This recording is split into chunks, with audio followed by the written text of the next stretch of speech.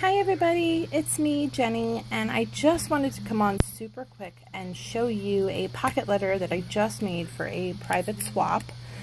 Um, yeah, so it's just going to be super, super quick, and I will just show you real quick. So this is the pocket letter. My desk is, or my table is such a mess, but I'm hoping you can see this in all its glory. I just think it came out so cute and so pretty and so girly. And yes, this is one of the papers from the LOL collection that my friend Angela, God bless her heart, gifted me.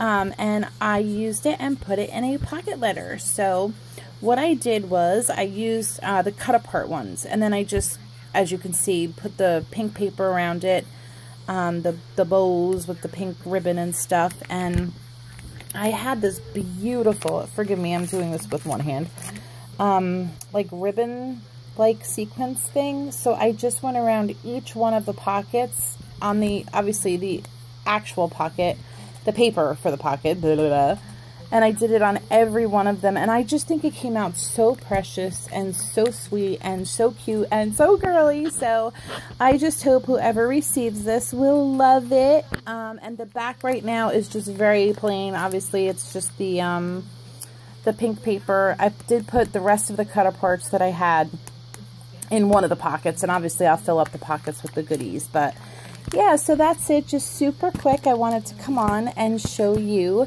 my newest pocket letter. Yay! Okay, guys, hope you're all having a fantastic day or evening, I should say. Um, and I will see you on my next video. Bye.